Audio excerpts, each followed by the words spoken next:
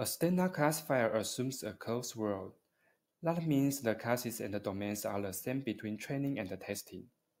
However, in an open world, the testing images may come from an unknown class or an unknown domain. Both are called out-of-distribution images. In those cases, the classifier still makes high-confidence predictions while being wrong. The right thing to do is to reject those images.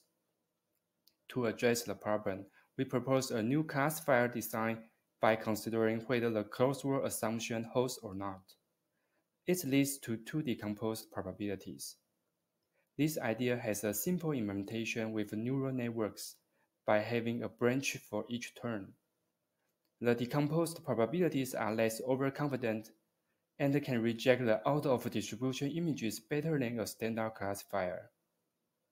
Please check our paper for the details.